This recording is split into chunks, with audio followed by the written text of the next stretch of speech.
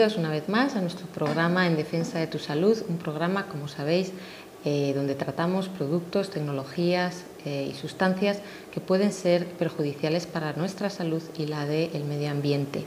Eh, como sabéis, mm, poco a poco siempre estamos trayendo profesionales de distintas ramas para que nos ayuden a comprender las distintas problemáticas que podemos estar pues hoy en el día moderno, en el año 2011, eh, viviendo y para formar y para crear un mundo mejor, una ciudad más sostenible, una vida más sana y para, en fin, eh, crear una, una, economía y una vida mm, más eh, saludable para todos.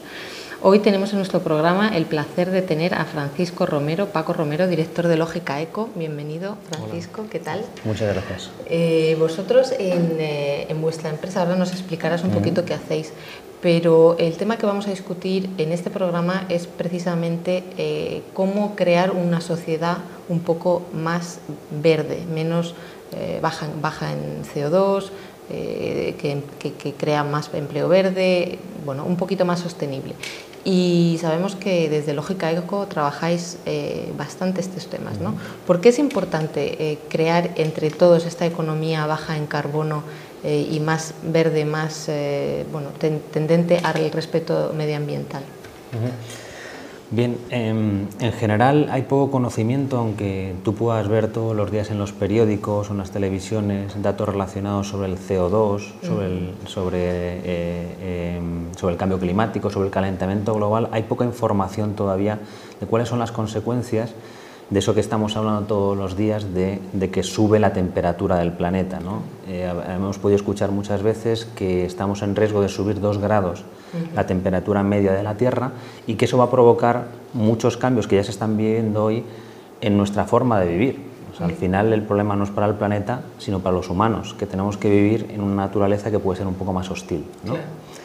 Eh, ¿Qué significa el calentamiento global? Pues que estamos emitiendo todos los días una serie de efectos de unos gases eh, a unas cantidades ingentes por nuestra forma de vida, que están haciendo un efecto invernadero, es decir, están haciendo que el, que el, calor se quede en la corteza terrestre más de lo que debería, en lugar de volver a salir al espacio, y que eso implica eh, que se calienta la Tierra. Que, se que calentarse dos grados más no significa que vayamos a tener un poquito más de calor y unas vacaciones más veraniegas, ¿no?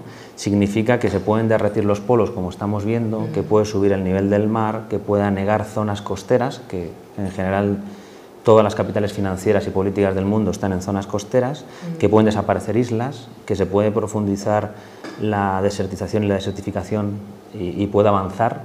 Por lo tanto, que va a tener consecuencias económicas, sociales, políticas eh, que tenemos que evitar, o al menos tenemos que paliar porque él ya lleva bastante avanzado.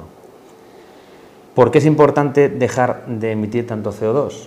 Bueno, pues porque somos capaces aún de adaptarnos a un cambio climático no dramático.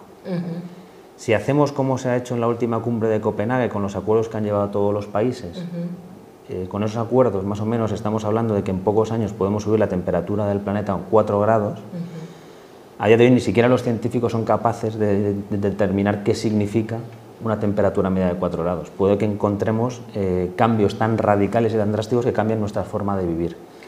Desde Lógica Eco y desde muchísimas instituciones, organismos, empresas, intentamos que eso no pase. Trabajamos todos los días para, para paliar esas consecuencias y sobre todo para adaptar a la gente a esos nuevos tiempos que vienen eh, para que sea menos dramático todo. Cuando dices ayudar a la gente, vosotros trabajáis eh, más que con individuos, con empresas y con instituciones públicas, ¿verdad? ¿Nos puedes contar un poquito cómo eh, trabajáis? ¿Sois consultores? ¿Cuál, cuál es vuestro eh, cliente principal, por decirlo de alguna forma? Y, y, cómo es la metodología de trabajo?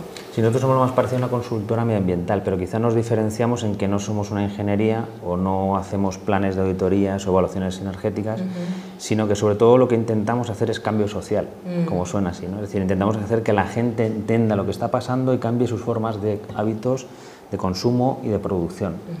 Eh, por lo tanto, estamos más relacionados con la sensibilización y la concienciación, el hacer que las instituciones, las ciudades y las familias cambien sus hábitos que con otras cosas. ¿no? Nuestro principal proyecto está ligado a la ciudad de Rivas hacia Madrid, donde desarrollamos el proyecto Rivas Ecópolis, que pretende convertir Rivas en una ciudad neutra en emisiones en 2030, con un hito intermedio de reducir un 50% las emisiones en 2020. Pero eso no es un plan municipal, aunque nosotros trabajamos por el Ayuntamiento de Rivas, lo que queremos es un plan de ciudad. Es decir, queremos que la gente acompañe a esas medidas, las entienda, las asuma y las disfrute, porque a veces eh, reducir o cambiar ciertos hábitos de vida puede llevarte a una calidad de vida mayor. Sin duda, además nosotros lo queremos así. ¿no? Yo te voy a poner un ejemplo, ¿no?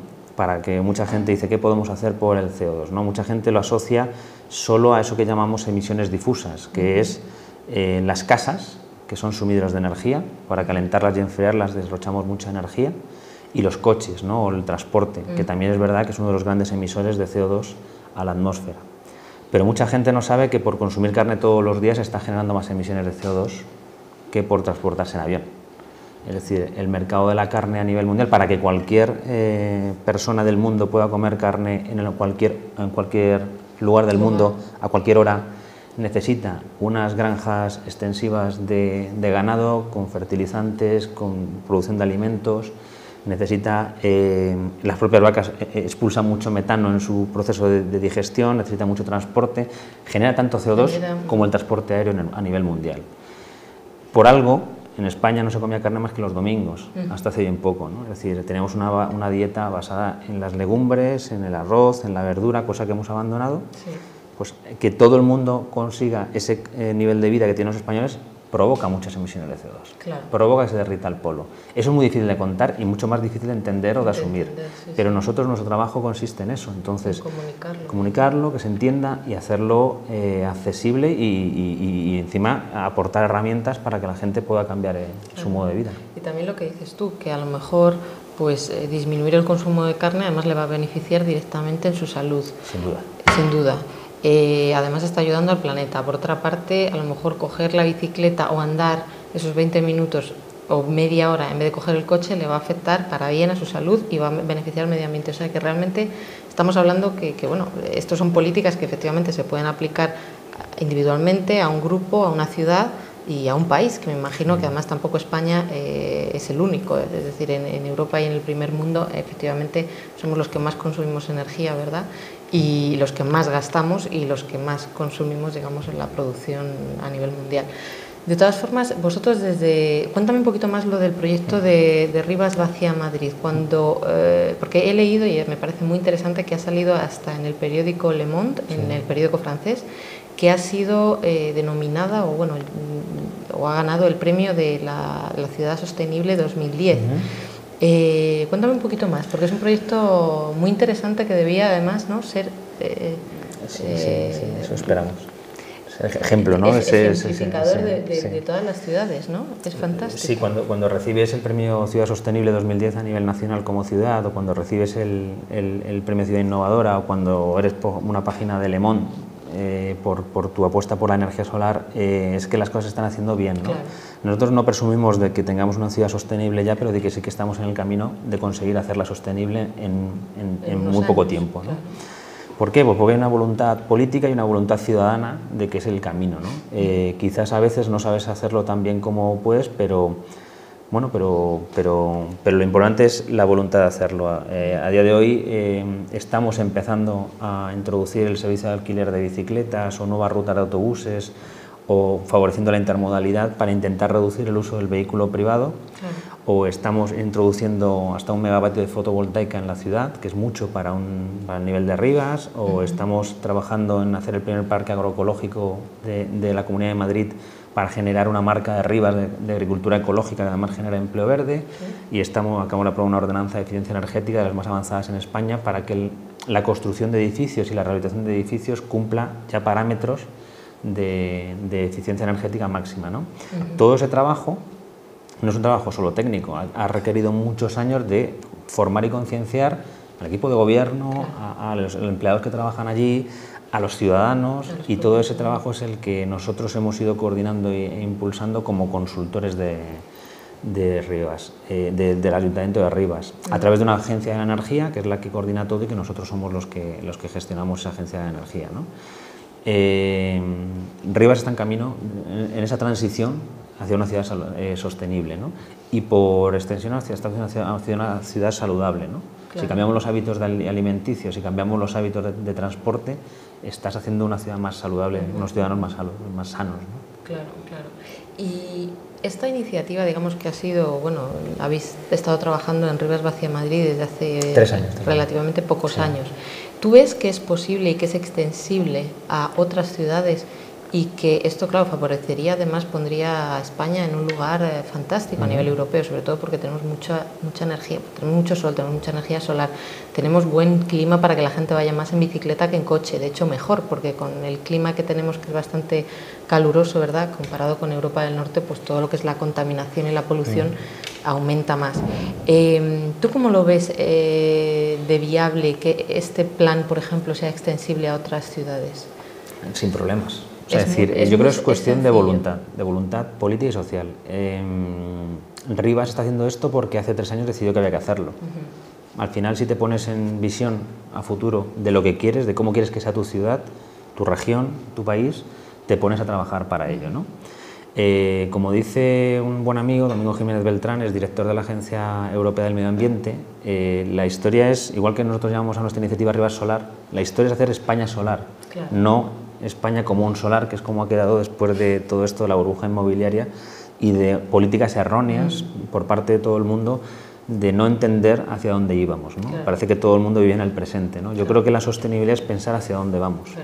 Pensar hacia dónde vamos, hacer un mundo más justo hoy y un mundo más justo con nuestros hijos y con nuestro, las generaciones que vienen, porque nos estamos consumiendo todos los recursos que la Tierra ha ido acumulando bajo la capa terrestre durante siglos y siglos y siglos. Y en un siglo nos estamos, por ejemplo, em, eh, acabando con las reservas de petróleo, de carbón, que son de procesos que vienen desde la prehistoria. ¿no? Eh, pensar que eso se va a regenerar por arte de magia es imposible, lo que ha tardado tantos años la naturaleza, y lo que tenemos que estar pensando ya es en cuando el declive del petróleo, cuando no haya más carbón, cuando no haya más petróleo, cuando no haya más minerales raros con los que estamos haciendo todos los días todos estos aparatos electrónicos que manejamos, eh, ¿qué va a pasar? la Entonces, la alternativa puede ser el caos, puede ser vivir en, en Mad Max, ¿no? Eh, pero yo creo que no, que la alternativa es si tenemos gente con visión en las ciudades, en las instituciones, en las empresas, mm. en, las familias, eh, podemos ir adaptando nuestros hábitos de consumo. Mm. Seguramente parece ridículo, pero si desde hoy empezamos una política de ahorro y eficiencia energética a nivel nacional, si queremos llenar todos nuestros tejados de energía solar eh, o microeólica, mm. si nos ocupamos más de hacer un plan para rehabilitar edificios de manera ecológica que de construir nuevos, si nos ocupamos de gestionar nuestros residuos pensando que no podemos simplemente eh, no, cerrar el círculo del, gasto, ¿no? es decir, nos, preocupamos solo de lo que entra y luego generamos um, suciedad y contaminación en lugar de volver, porque en general todo se puede reciclar, todo se puede reutilizar. Si no planteamos todas estas cosas, seguimos el mismo camino. Pero si un día decidimos plantearnos todas estas cosas y ir haciendo pequeños cambios en nuestra vida cotidiana, nada es imposible. Yo estoy convencido de que si lo están haciendo otros, ¿por qué no en nuestro país podemos hacerlo? Pues muy bien, Paco. Vamos a ver, hemos ido a la calle a hacer varias preguntas relacionadas con este tema y hemos hecho la primera pregunta que tiene que ver con bueno, la opinión de la gente respecto a una economía baja en carbono. Vamos a ver lo que dicen.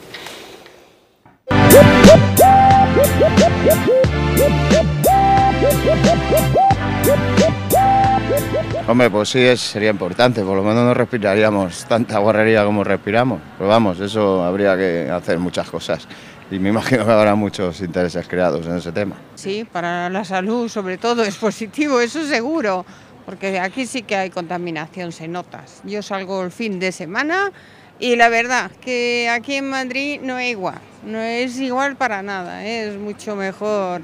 Y claro, entonces es que es contaminación, hay coches, muchos, demasiados. Pues evidentemente es una cosa importante, es importante ambas cosas, la economía y el medio ambiente. Yo creo que sí sería que fácil que, hicieran lo, mejor posible ¿no? para el ambiente, para que no contamine tanto. Sería fenomenal, o sea, que todo funcione muy bien y todos los políticos actúen de buena manera, o sea, que hagan todo bien. Pues así lo ve la gente, Paco. En el fondo sí que están muy un poco concienciados, sobre todo en el tema de la contaminación, ¿verdad? Que parece que es el tema que más les, bueno, lo ven directamente. Efectivamente, como decíamos antes, a lo mejor el tema de la carne, el tema de mm, apagar las luces eh, o dejar los aparatos no en stand-by cuando, cuando todo esto además sigue consumiendo o, bueno, efectivamente no coger tanto el avión, a lo mejor no son opciones que ellos lo ven porque todavía no ha llegado a, la población en general. Pero es interesante ¿no? lo que hemos visto. interesante. Hay, dos cosas de lo que se dice que me gustaría tratar. ¿no? Mm. Eh, la primera es lo de eh, hablar del medio ambiente y la economía de forma separada o el medio ambiente y la gente de forma separada. Mm. Yo siempre digo que para Lógica Eco el medio ambiente somos las personas. Es decir, el planeta extingue los dinosaurios. El planeta ha sido capaz de sufrir cualquier crisis ambiental más duras que las que estamos sometiéndoles ahora. Pero el planeta es el que se encarga de, exterminar o no a las especies que tienen. Es decir, el medio ambiente somos las personas. Y si queremos eh, sobrevivir como especie, sobrevivir con ciertas condiciones de vida dignas, tenemos que hacer el cambio nosotros, no es por los pájaros, ¿eh? de verdad, no es por los pájaros ni por los árboles, es por nosotros que vivimos en ciudades. Eh, yo de hecho hablo muy poco de medio ambiente cuando, cuando hablo de estas cosas. ¿no? Y la segunda cosa es lo de la contaminación. La contaminación es un problema gravísimo, sobre todo en las grandes ciudades, pero no es el problema del cambio climático. Mm. Es decir, los coches por esos tubos de escape echan CO2 y echan eh, NO2 y echan partículas en suspensión. El dióxido de carbono y las partículas en suspensión es el problema de la contaminación. Es ese problema de, de esa nube negra con ribetes naranjas que hemos estado viendo en Madrid durante todo el invierno que genera muertes, como suena, eh, acelera procesos de, dificultades respiratorias, para mayores, niños y gente que tiene esta enfermedad que genera muchas alergias y que es un problema de salud, pero que incluso me gustaría que lo tratases en otro, en otro sí, sí, es porque... un tema que, la gente lo confunde, pero efectivamente no tiene nada que ver. el CO2 no es, es, inocuo para la gente, el CO2 es lo que desprenden las plantas, lo que se ha generado en el, por la acción de los árboles durante miles de años en el terreno y es lo que sirve eh, y es inocuo, no, no, no, te da, no, daña directamente. Genera otro problema. Genera el problema, ya hemos dicho, del calentamiento, global, que al final nos, repercute indirectamente, efectivamente no es una cosa directa, pero es indirecta. Sí, la gente lo confunde. Pero cuando estábamos hablando al final, porque efectivamente antes eh, me ha quedado pendiente entenderlo bien, pero también para explicarlo a la gente, porque yo creo que es importante eh, cuando estamos hablando del cambio del sistema y estamos hablando mm, de, ayuntamientos, de ciudades, de políticas, yo creo que esto no puede cambiar si la gente realmente individualmente no entiende los problemas. ¿no? Entonces, em, cuando estabas hablando de, empleo verde, eh, de, ahorro y energía, de uso de energías renovables o, o de todo el tema urbanístico desde, desde, desde, la creación propia de los edificios hasta el diseño de las ciudades, cómo está pensado. En el fondo todos somos partícipes, ¿no? Y me gustaría profundizar un poquito más en estos puntos que de hecho son el eje, ¿verdad?, de, vuestro, mm, bueno, de la propuesta, que es, que es una propuesta eh, francamente eh, yo creo redonda, por eso me apetecía tanto tenerte en el programa porque creo que es una, es una propuesta que para, desde mi punto de vista, debe ser la apuesta de España. Es una propuesta que no es, no es nueva, o sea, lo, han hecho otras ciudades y lo llevan haciendo otras eh, en, otros, en otros países, ¿no? Pero toda la que es la combinación del empleo verde, eh, las infraestructuras, ahorro de energía, eh, creo que es importante explicar una a una ¿no? los, los distintos puntos para que la gente entienda bien que a nivel individual lo puede hacer y que si luego ellos están concienciados, pues pedirán a la comunidad de vecinos hacerlo. Oye, pues vamos a hacer esta estrategia en vez de esta porque consume menos. Y luego ya pedirán al ayuntamiento, vamos a hacer esto. O vamos a, si hay una demanda, lógicamente también, ¿no? Este programa, de hecho, yo siempre lo explico, está muy centrado está muy centrado en las personas y las personas somos todos, somos los ciudadanos, políticos son personas, los economistas son personas, los eh, medioambientalistas y los científicos también. Eh, pero lógicamente el conocimiento, por desgracia, no es común a todos. ¿no?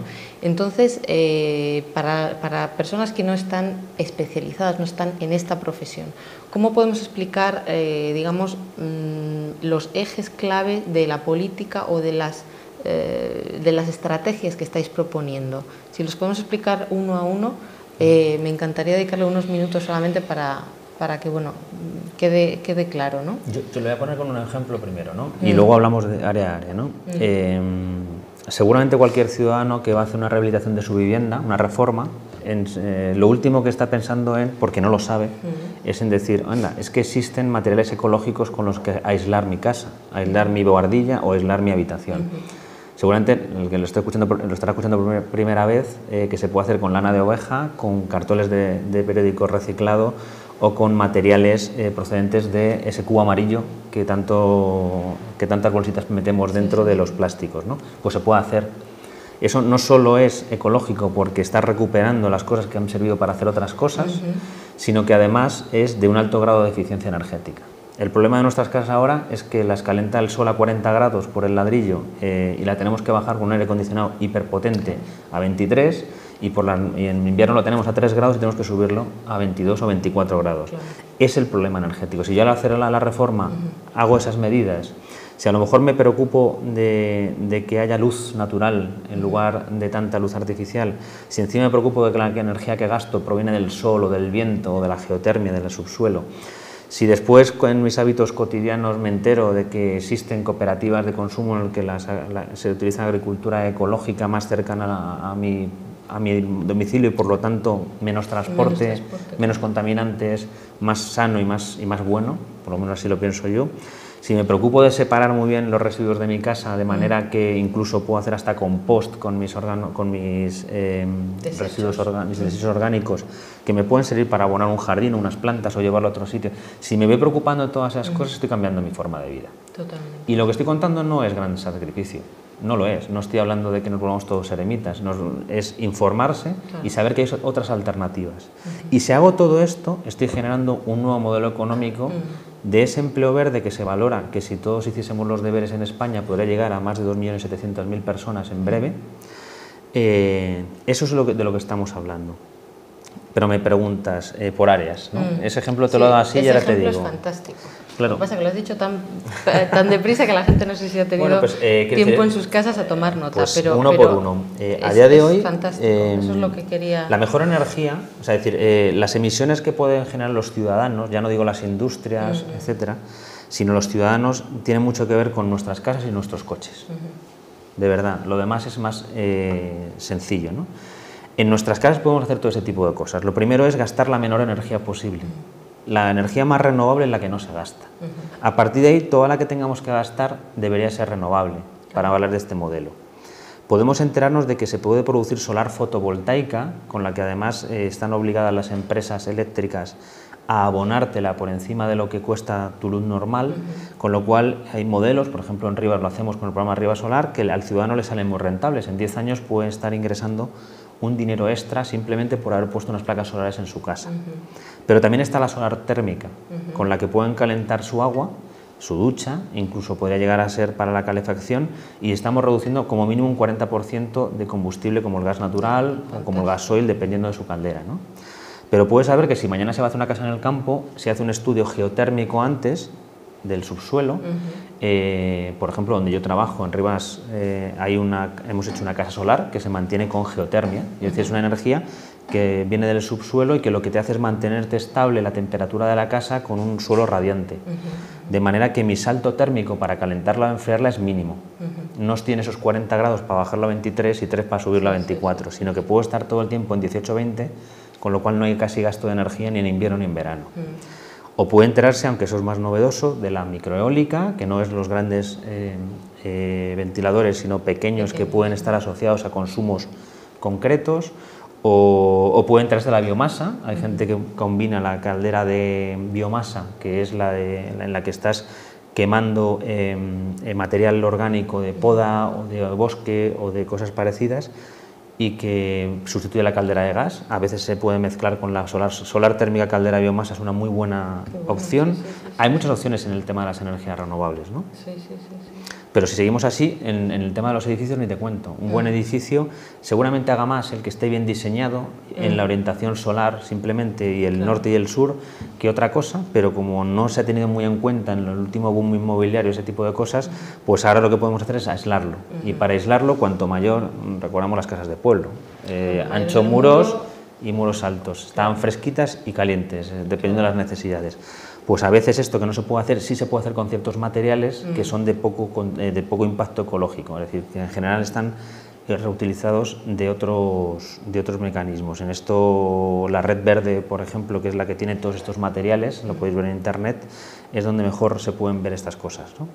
O, en, o, si nos planteamos modelos de transporte, eh, ya no solo es decir, eh, vamos a ver si podemos utilizar más el transporte público, es el mejor de los transportes, o si puedo pensar en caminar o en bicicleta en ciertos trayectos. El número, ahora no te lo digo, no te puedo decir porque no quiero equivocarme, pero el, número de trayectos en España de menos de 200 metros en coche es abultadísimo. Y eso es una locura. Eso es mañana cuando nos pongan una tasa al carbono, como acaba de poner Australia a sus empresas cuando además de las empresas, la tasa al carbono, cuando tenemos un problema, sea para las familias, eh, nos pondrán multas si hacemos ese tipo de cosas. Eh, de, hecho, te interrumpo aquí porque tiene que ver, ah, hicimos otra pregunta en la, en la calle. Eh, también con el tema de la contaminación, la gente estaba realmente preocupada ¿no? por el tema de la contaminación. Entonces les comentamos porque Efectivamente no tiene eh, totalmente que ver las emisiones eh, de los coches, pero tiene que ver en el sentido que producen más CO2.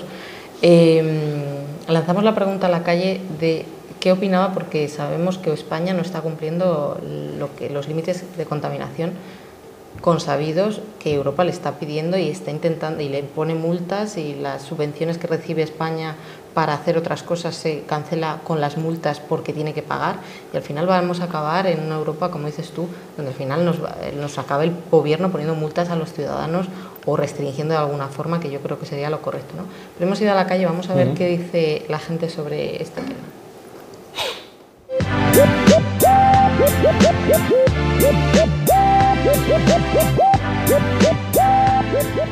Pues mal, deberían intentar, ah, si hay alguna posibilidad de, hacerlo, pues deberían hacerlo, limitando los coches o, o, algún tipo de maquinaria o lo que fuera, pero eso es bueno para la salud, reducir el CO2 y eso es lo más importante. Ya no digo que sea agradable o no, que eso no lo es, por supuesto, respirar el, olor de los coches no, no, no, me parece bien. Pues muy mal, porque eso será culpa de quien sea y nos están asfixiando aquí a todos, lógicamente.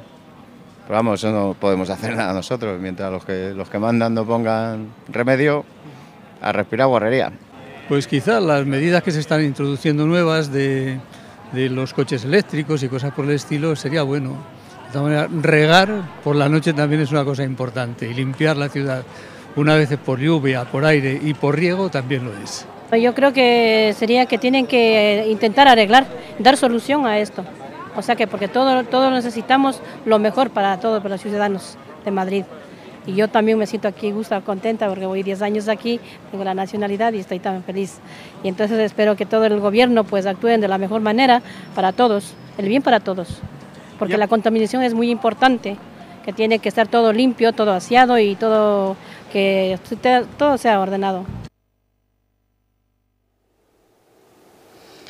Pues como vemos Paco, también la gente mezcla, pero tiene, es consciente del problema de la contaminación, es consciente de que hay medidas, de que hay alternativas, el coche eléctrico, ¿verdad? Dice, bueno, es un poco, yo creo que Puede que el, problema en este momento a nivel de, bueno, de, demanda y oferta, ¿no? los, los, sistemas que son alternativos y son energéticamente más eficientes y contaminan menos, son de momento como la agricultura ecológica, como la bioarquitectura. Parece que la, la, gente ¿no? quizá tiene un, empieza a ser más consciente, pero tiene la barrera de bueno, va a ser más caro o mm. no va a llegar o no.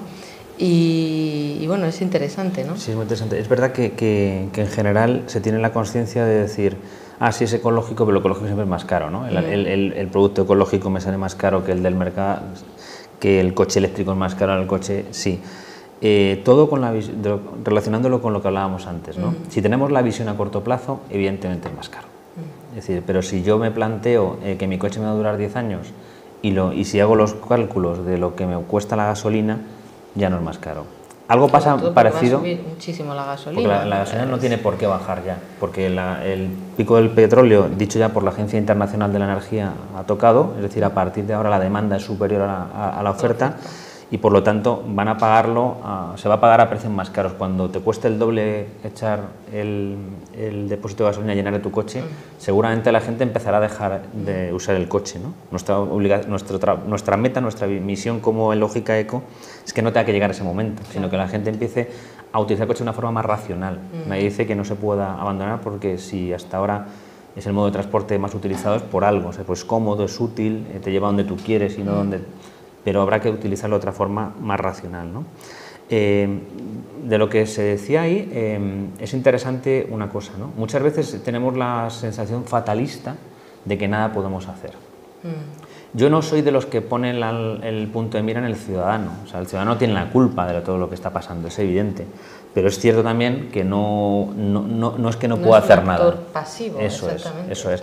El que llena de, de, contaminación no es el alcalde de Madrid, es todos nosotros cogiendo el coche todos los días o todos nosotros gastando mucha energía todos los días. Que evidentemente una persona tenga responsabilidades administrativas de que pueda legislar, ¿tiene la solución? Sí, mm. pero también nosotros...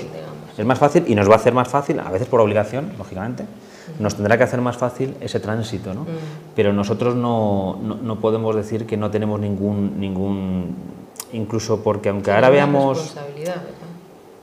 Si aunque ahora, por ejemplo, veamos la, el hambruna de, de, Somalia o vimos el Katrina en, en, Estados Unidos y parece que son cosas lejanas, que no mm. tienen nada que ver con nosotros, eh, los científicos, y no los ecologistas, los científicos están diciendo que sí que tienen que ver con nuestras formas de vida, que, el Katrina endurece sus condiciones porque encuentra tierra caliente cuando es un fenómeno marítimo. Y que la hambruna de Somalia es más intensa porque se está avanzando la desertización y la sequía. Y eso tiene que ver con, con, con, lo que estamos emitiendo hacia la atmósfera. No, a mí me ha, gustado mucho lo que has dicho porque además es un tema que, lo hablamos desde, desde, la Fundación Vivo Sano, desde la Organización para la Defensa de la Salud, desde Vialia Televisión, desde todas estas eh, organizaciones y fundaciones que formamos este grupo que estamos intentando cada vez dar más soluciones. Eh, más que hablar de problemas queremos hablar de soluciones, pero las soluciones las damos porque sabemos que las personas, las personas que están al otro lado de la cámara son individuos que tienen poder para cambiar su pequeño mundo, pero el pequeño mundo de todos es el gran mundo. ¿no? Entonces, eh, me encanta que lo hayas dicho porque realmente esto siempre, eh, a mí me gusta, no siempre y no todos los programas lo sacamos, ¿no? pero es, invita a la reflexión de que la gente eh, con las pequeñas cosas, aunque lo sabemos, no cambia tu mundo y cambiarás el mundo, no hace falta que vayas convenciendo, no hace falta, pero son cosas tan pequeñas y tan a lo mejor fáciles que efectivamente incluso en la economía de una familia, es decir, una, Mm, en, dos años dices, bueno, pues mm, no, no hago esta estrategia y, ahorro 100, pero en, esos dos años hago la otra estrategia, en vez de la estrategia A, hago la estrategia B y ahorro 500, pues en, 10 años ahorro 500, pues lógicamente mm, siempre hay que verlo globalmente, las familias como economías, eh, mini economías los países como mini economías de la gran ¿no? y al final estamos todos está todo conectado ¿no? yo, yo, yo propongo a la, gente que a, ver, eh, a mí me hace mucha gracia cuando temas muy importantes se tratan muy a la ligera ¿no? por ejemplo lo de la limitación de velocidad a 110 a 120 ¿no? se trata como un debate eh, de risa ¿no? de Ay, cómo gastan señales ¿no?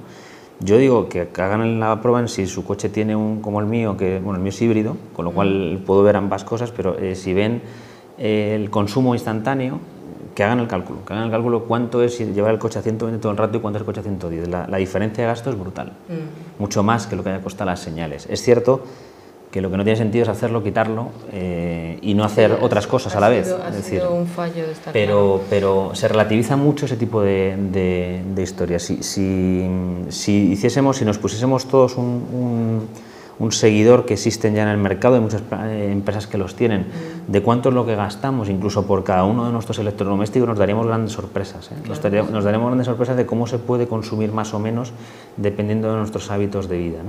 Eh, y luego somos, tenemos gran capacidad, pues somos consumidores. Es decir, em, y se pueden tomar decisiones muy, muy simpáticas que afectan mucho a la economía. Si no, las grandes superficies comerciales no habrían dejado de hacer bolsas de plástico o no estarían todas tan preocupadas de ponerte en su quién es más ecológico en sus tetrabricks o en sus materiales. Es decir, todo aquello que o sea, para, para, para, todo genera CO2, toda la ropa que llevamos en el proceso de producción y transporte ha generado CO2, todo lo que hacemos hay que intentar empezar a pensar quién ha generado menos CO2 a la hora de elegir entre un producto u otro. ¿no? El ejemplo es el de los periódicos cuando vas al... ya, ya, pasa menos, pero hace unos años cuando ibas a por un periódico un domingo prácticamente tenías que ir a un carrito a la compra porque te regalaban multitud de cosas de plástico. Etc. Bueno, pues eso también tienes un condicionamiento ya para la hora de comprar algo. El envase. El envase es un generador de, de residuos brutal que si no se recicla encima bien eh, además de producir todo ese CO2, eh, contamina muchísimo, tardan muchísimos años y normalmente si no lo has eh, separado bien en tu casa, acabará en un vertedero o acabará quemado con todas las dioxinas y la contaminación que eso genera. ¿no? Eso es lo que tenemos que empezar a pensar. Como consumidores tenemos mucha potencia y como consumidores concienciados es una gran herramienta de cambio. Está claro, nosotros, eh, ya te digo, estoy totalmente de acuerdo. Hemos salido a la calle y hemos preguntado sobre España, sobre qué eh, piensa el ciudadano que España podría hacer. Pero es curioso porque la, pregunta era abierta ¿no? y era con un doble fondo y yo quería también ver si la gente se identificaba con España, ¿no? ¿Qué puedo hacer yo? ¿Qué podemos hacer? ¿no? Ahora vamos a ver un poco las respuestas, pero esto me ha gustado porque da un punto de reflexión para que la gente realmente piense que ellos son el país, que ellos pueden hacer el cambio, que ellos son ciudadanos del mundo y que entre todos, o sea, que es necesario, no entre todos, no, es necesario que todos empecemos haciendo nuestras cosas pequeñas que multiplicadas por millones de personas que somos hagan el gran cambio. Vamos a ver qué dice.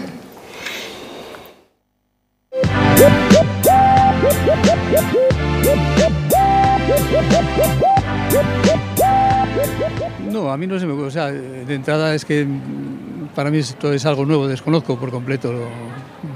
No sé, no sé qué medidas pueden ser más adecuadas, pero evidentemente lo de los coches eléctricos creo que es una cosa importante para, para Madrid. Y los sistemas mm, públicos de, eh, de, transportes y demás, pues sería otra cosa muy importante. Pero claro, buenos, buenos sistemas de transportes, que yo creo que en ese sentido pues habría que decirle a quien corresponda que es necesario mejorarlos. ¿Qué podemos hacer? O coger menos el coche, a lo mejor, más transporte público, sobre todo en las ciudades que se concentra mucho, porque claro, todo el mundo viene al centro. ¿eh? El centro siempre es lo más apetecible por las tiendas o por, por conocer o lo que sea. Entonces, que hubiera más transporte público en el centro y más fluido y menos coches, que obligaron un poco a dejar el coche en, los alrededores del centro, ahí donde más precisamente hay más contaminación. ¿eh? Porque si te alejas un poco ya en los barrios, pues ya a lo mejor hay menos coches y ya la contaminación es menor. Pero claro, al centro, si todo el mundo va, es imposible. De lo que deberían es, o sea, por ejemplo, hay tanta contaminación, por ejemplo, de coches ya que están ya, coches muy, muy, muy de muchos años, que deberían de ser eh, revisados o arreglados, o un coche nuevo porque hay tanto coche que ya no sirve que contamina mucho el ambiente y entonces eso no, no estaría muy bien. Yo, por mi vista, pues lo veo lo mejor que sea, lo mejor posible, todo nuevo. Uf, eso es muy complicado. Habrá que empezar por restringir el tráfico, las fábricas, en fin, tiene mucha tela eso. Pues sí, Paco, vemos que, puede, la gente lo ve individualmente como un tema a lo mejor de un sector, como decía este último señor también, es un tema bastante complejo, ¿no? no solo de la contaminación, o sea, tienen que influir las personas no solo a nivel de ciudadanos, sino a nivel de empresario, a nivel de político, a nivel de administración pública, ¿no? Tiene, tiene todo que ver, ¿no? Pero bueno, es interesante ver que la gente sí que tiene ideas y que sabe que hay soluciones. Pero además, eh, nosotros como Lógica Eco no, creemos que ni el cambio climático ni el calentamiento global sea un problema. Mm. Para nosotros es un reto. Es decir, se está hablando tanto de la crisis económica ¿no? Eh, y se están intentando aplicar las mismas lógicas que nos han llevado a la crisis para sacarnos de ella. Nosotros decimos, no, metamos otra lógica, metamos la lógica eco mm. y en todo eso que han hablado los ciudadanos se puede generar empleo. Es decir, eh, todo lo que tiene que ver con reconversión de procesos industriales para hacerlos más eficientes energéticamente y menos contaminantes. Todo lo que tiene que ver con la química verde, es decir, la química que tiene mucho poder de contaminación y de perjudicar mucho la salud, eh, se puede ir eh, haciendo esa transición para convertirla en verde. Todo lo que tiene que ver con urbanismo, mm. el no dejar nuestras ciudades llenas de cemento, de hormigón y de ladrillo, que eso es lo que implica que haga tanto calor, que haya tanta contaminación y que el cada vez que llueva no se pueda empapar el terreno y por lo tanto no, no podamos ver vegetación por ningún lado. Eh, ahora que, por ejemplo, en Nueva York la moda es eh, parques en las terrazas y fachadas verticales de, de- de vegetación como aislante y como frescor y como...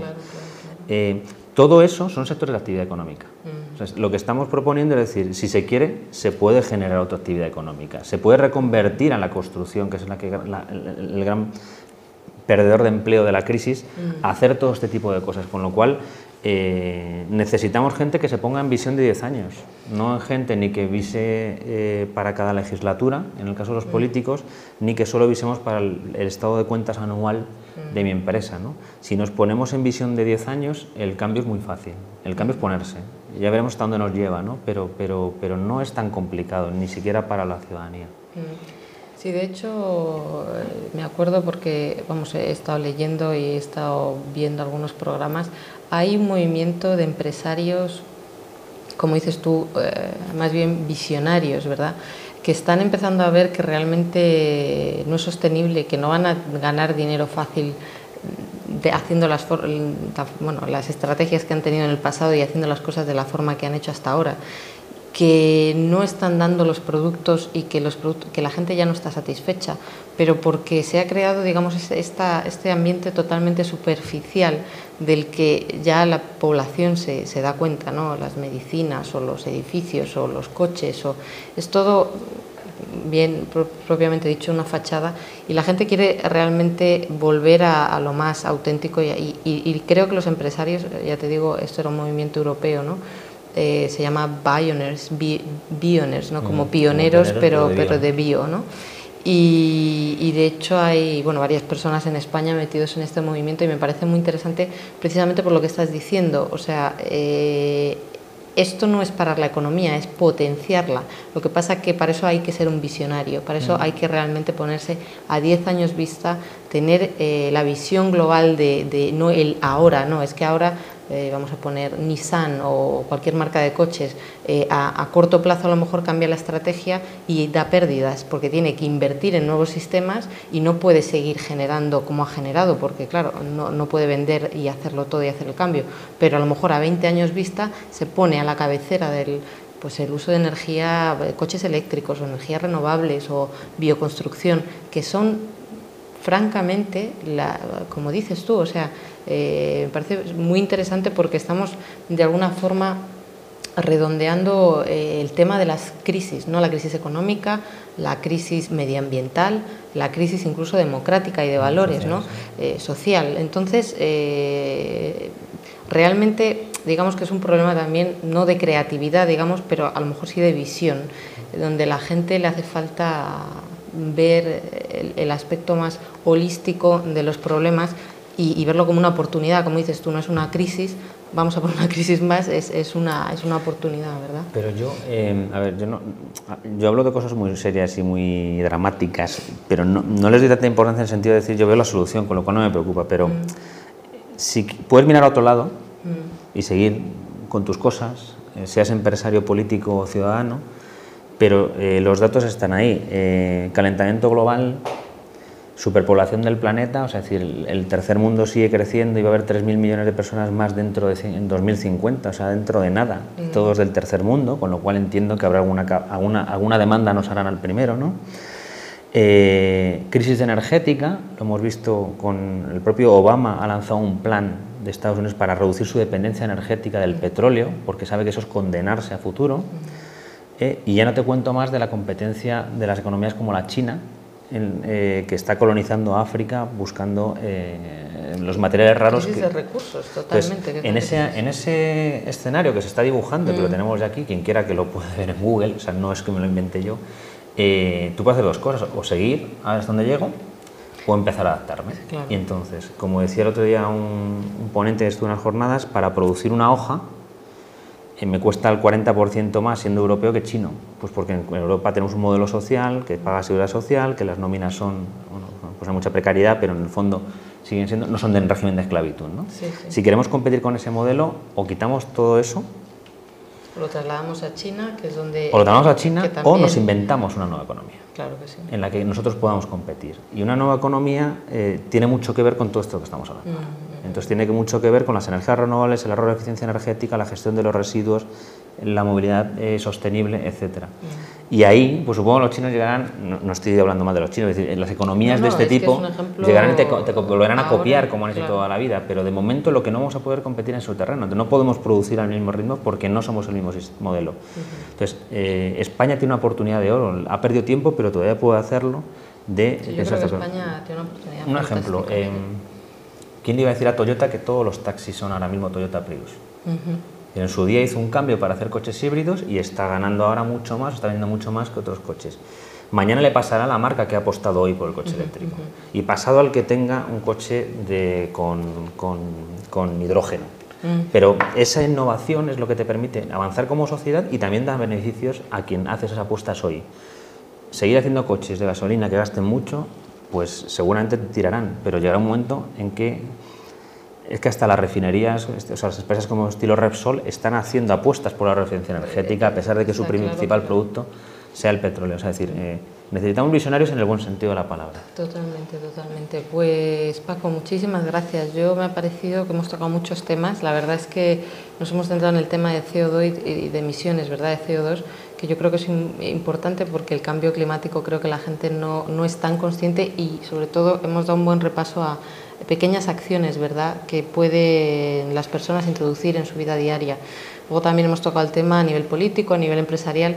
Creo que hacen falta empresarios visionarios y que los hay. Eh, de hecho, esos son los más, eh, digamos, los que, los que van a llegar primero y los que van a, eh, vamos, esperando que todo vaya bien y, y, que cada vez haya más, van a generar ese cambio, ¿verdad? Pero bueno, confiamos en que siga, abriendo, que siga habiendo empresas como la vuestra, que sigan ayudando ese cambio y tanto para gobiernos como para empresas. Nosotros desde aquí intentamos ayudar sobre todo a difundir la información, a ayudar al ciudadano, al empresario, al político a decir aquí hay personas que tienen los conocimientos, aprovecharos porque este es el momento, ¿verdad? Pues muchísimas gracias. Así que muchas gracias a ti, Paco. Y, y nada, con todo esto nos despedimos de nuevo. Eh, como sabéis, si tenéis dudas, eh, preguntas o, cualquier comentario respecto a este programa o programas anteriores, podéis eh, escribirnos un email a programas.bealia.tv, que lo veis ahí. y bueno, como siempre deciros, estamos a vuestra disposición para, también para futuros temas a tratar, para futuros profesionales que traer y para ayudaros y seguir ayudándose a nivel informativo y divulgativo a crear este mundo que estamos eh, todos pensando. Eh, muchas gracias de nuevo, esperamos en veros eh, de nuevo en los próximos programas y entonces me despido y hasta pronto.